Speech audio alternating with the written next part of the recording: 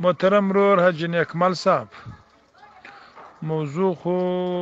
ما ستا مسیج واورېدی پاکستان هیواد بیا زه په دې خاطر د ټول عمر د پاره نه وایم په پاکستان هیواد کې زموږ او تاسو پښتانه افغانان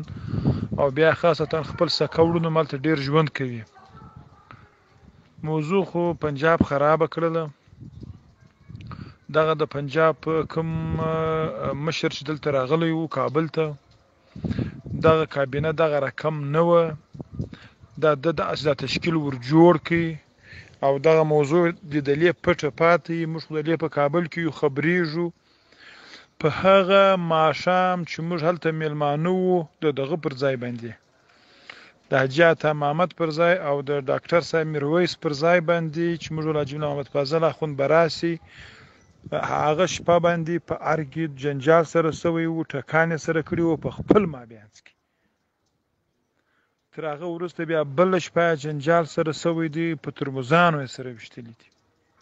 دلته مشکلات دي دلته جنجالونه دي دلته دغه کابینه چې ور جوړ کړل دا هغه میلمه ور جوړ کړل دلته به افغانستان یو ډیر خراب حالت ته بوزي ډیر بحراني حالت ته به یې بوزي دلته به بیرته سر د یاوه جنگ جګړې مشکلات وي دغه کابینه سمه جوړوله خلک خوشبین و موضوع داسې و چې یو همه شموله چې هغه کې به د تاجکو هغه مشران مشران چې یو څوک یې په خوله کوي یو داسې تاجک یې چې یو څوک یې په خوله نه کوي راځه زموږ ته سپکوم کې دی نو د کاکړ قوم څخه اوس مثال حاجي محمد فضل اخوند یې راویسته دی بلکل زموږ رهبر دی ټول یې په کول کوو نو اوس که دی د کاکړ قوم څخه ملک عبدالجبار اغا راولي په کابینه کې ځای ورکړي نو کاکړ یې په قول نه کوي نو نو داسې عامه شموله نه چې دی به د ازبک څخه د هزاره څخه د تاجک څخه ملک عبدالجبار اغا راولي او په کابینه کې به ځای ورکوي یا دی به داسې یو اداره به جوړیږي د پښتون ازبک هزاره تاجک تر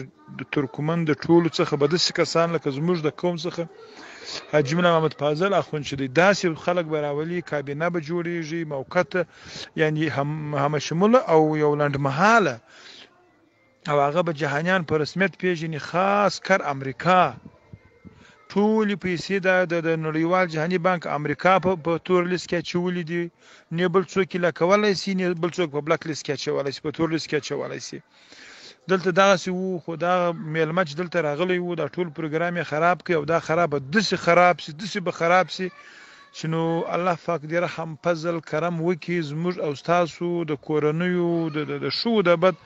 د یو دسي بیزتی او دسي د سرګردانۍ الله دې رحم وکي نور نور اساسات می خرابي الله دې رحم وکي میلمه کار ډیر خراب کوي میلمه تل زموږ اساسي بنسټیز دښمن دی میلمه زموږ تل عمر کار خرابوي